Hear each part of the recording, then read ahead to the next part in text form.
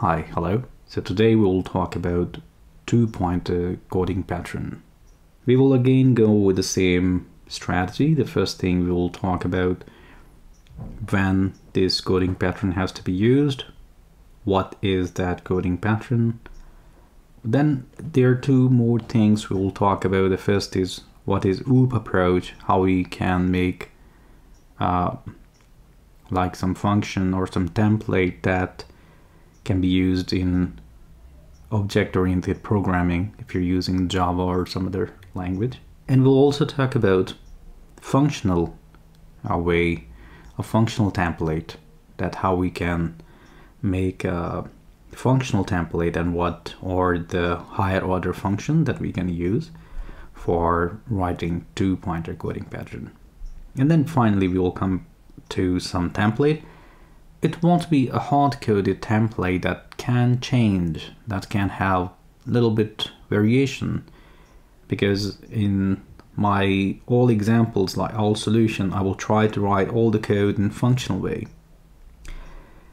And here I have already mentioned a few questions which we can do using two-pointer coding pattern the, these functions, these, the, these questions can be done with some different approach also, a little bit, but they will give you a sense, they will ring the bell that they somehow map with the two-pointer coding pattern.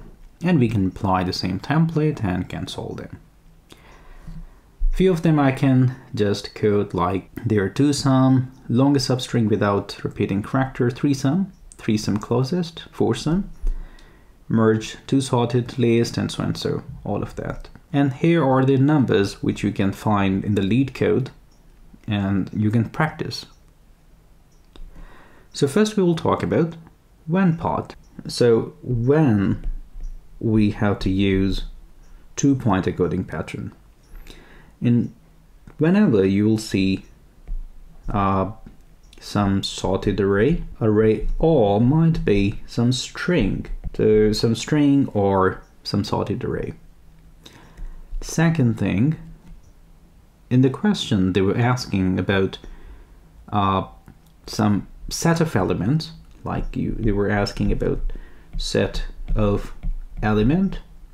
From set mean that one or two or a collection with some plus with some constraint. These three things. Let's suppose two sum is a good example for finding uh, element, like some arrays given, and they were asking, okay, try to find uh, two number whose sum is equal to um, four. Let's suppose four. So we have to find this target. So what we can see that this two number three and 4 uh, 1 and 3 if we can if we add them we will get the result of 4 and a collection might be they can just say okay find uh, three numbers whose sum is equal to like a b c and these three numbers whose sum is equal to let's suppose 10 or something so we have to find that. What is about the constraint? The constraint is this, that when they say find some three numbers whose sum is equal to this target, so target is a constraint. Target with operation, target plus operation. So when they are saying uh, sum of three numbers, three numbers is equal to uh, target, that is the constraint. So we, we talk about when we have to use and which sort of question we have to use two-pointer coding pattern. And what is this two-pointer coding pattern? Pretty simple. As already said, let's suppose we talk about one example and then we can apply the same uh, thought and it and can extract some template from it. Let's suppose there's a two-sum question. They said, we will provide you some number array, like array of 1, 3, 5, 7, 10. And they were expecting find some number whose sum is equal to 10. So target sum is, so target should be equal to 10. Now, the first thing we can look that this is sorted. So first condition met, it is a sorted array. Second condition, we can look that they were asking some collection, some set of numbers. They're saying find two numbers whose sum is equal to this target. Now they were asking for some set of numbers, set of elements from this array. So set condition is satisfied, sorted is satisfied, set is satisfied, and some constraint is there. That constraint is that sum, this operation, when you apply that on these two elements, you get this result. So all these three conditions set. So this is uh, two, uh, so all, everything, like all these conditions satisfied. Now, how, what is this two-point coding pattern? We will take a left from here. So in this example, one, three, five, seven, ten, we will take one pointer here, which is left and we can take and the pointer at the end which is right and now we will see um, that we'll try to see that okay this number is 1 and we will say that this number is 10 we will sum them and that will result answer 11 which is greater than my target number 10 by looking at this condition I would move one pointer either left or I will move right. So when I will move left, so when I will move left, it means that I am trying to find some bigger number. And when I move right backward, so I'm trying to find some minimum number. So it's a minimum target, that's a maximum target. So I'm increasing when I move the left and I'm decreasing when I move the right back. So this is bigger number. I can see that, okay, 11 is, this 11 is a bigger number. So I have to move my right backward. So the next step I will say right will move back. At this point, right is pointing here. Now I will again look for 1 plus 7 that is right. And this time I will say 1 plus 7 is equal to 8 and 8 is less than 10 this is our target. This is what we obtained. That is less than 10 so when we found something which is less than our target we will move left to the right side and in the next step we will move left to the next number and okay the pointer will go here now we will say 3 plus 7 is equal to 10, which is equal to our target number. And we got the result.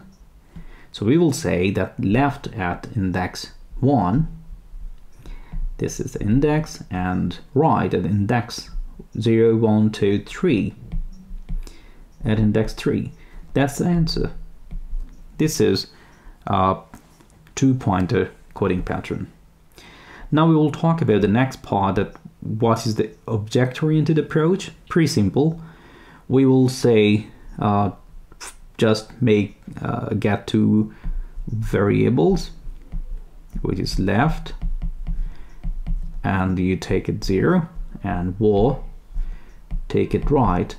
The same way that you put your right here and left you'll put at this point. So this is uh, these two points you will get and then you'll just iterate on all numbers so uh, on all number you will iterate and here you will just move conditionally left or you will move right so conditionally you will move them conditionally this is object-oriented way of solving these questions using the two-point coding pattern. Now we will talk about functional way. That was a functional approach to, to address such type of question. So before going into that, I will try to talk about two higher order function that we will um, use while solving this question. The first thing is about zip with index and second we will talk about fold left. Zip with index is pretty simple that when we have some array Rather, I will take some different number here. I, I will say string of A, B, C, D. Zip with index mean that let's suppose you have an array and you're going to zip that. So you have A, B, C, D. It is on index 0, this is index 1, this is index 2, and this is index 3. So just like a zip, they will say this is a zip here, here, here, and here, and that's also the part of a zip.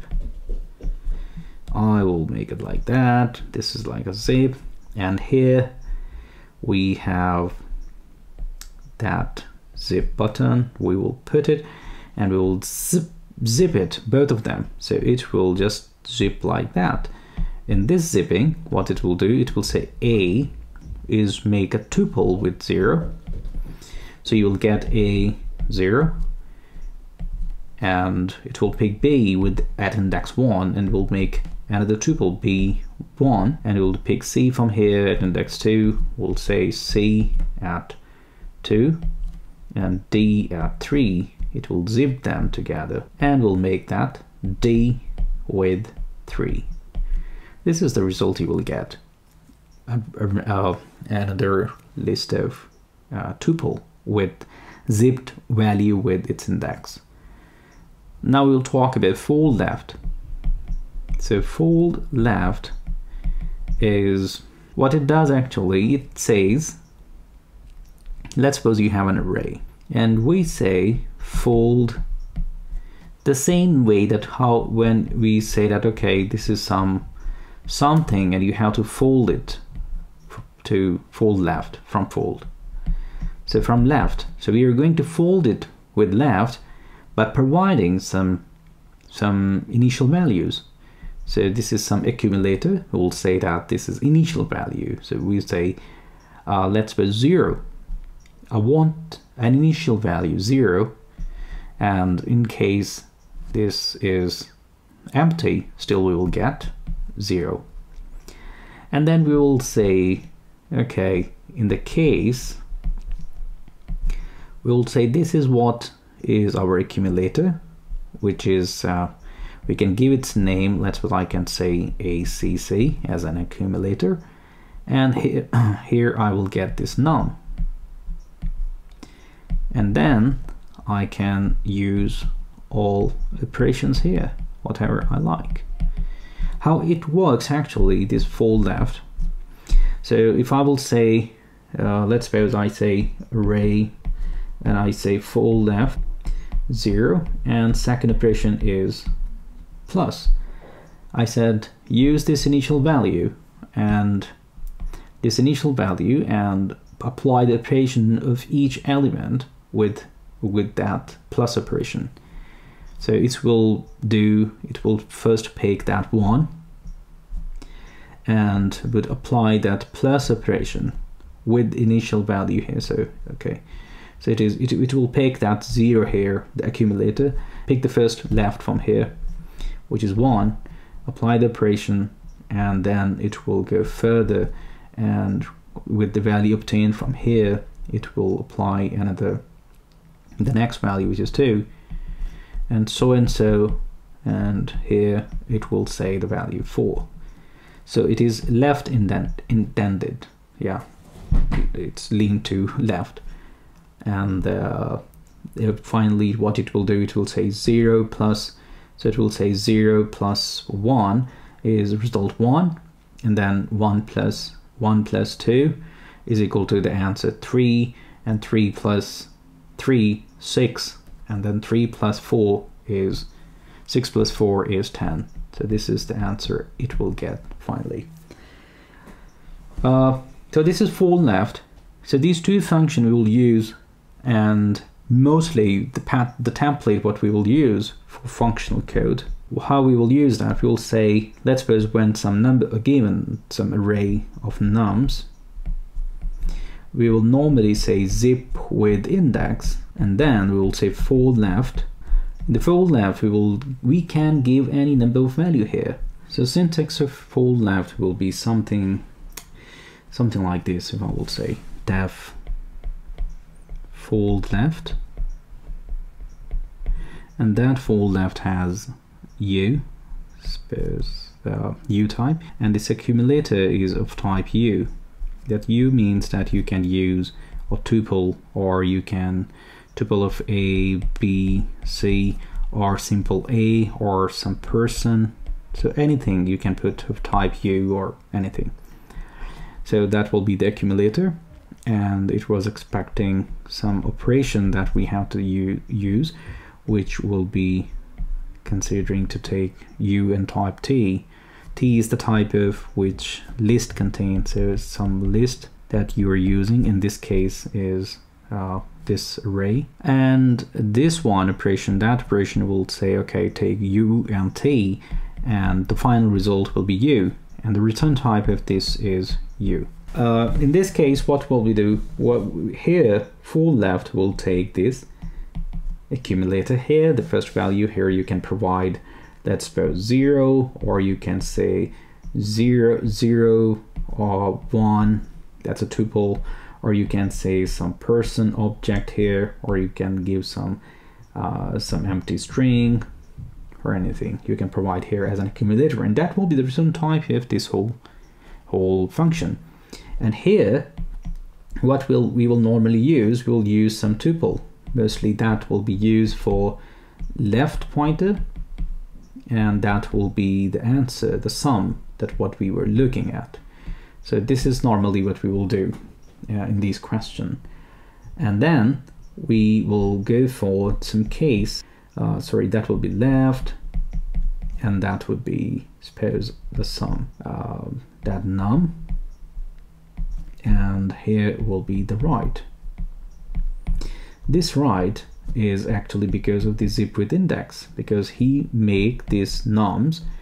One two three is at this level it become a tuple one with zero two with one and three with two. And at this level at four left uh, what it is doing he is going with this accumulator and then we use this case and then at this level here in this part we will use all operation whatever we want. So here will be all operations and logic. Let me make it clean again and finally we will make this here and at that level we will perform some operation Note that this right index will move like it will go with each each iteration. We can't change that. That right, this right will change with each iteration. It won't change with uh, by doing any of the like by our overview we'll say okay move it back or stop it there no here we have control the accumulator what we provide in the fold left we have control that we can say, okay, increase, move the left further, or keep it here, or add something, or don't add anything.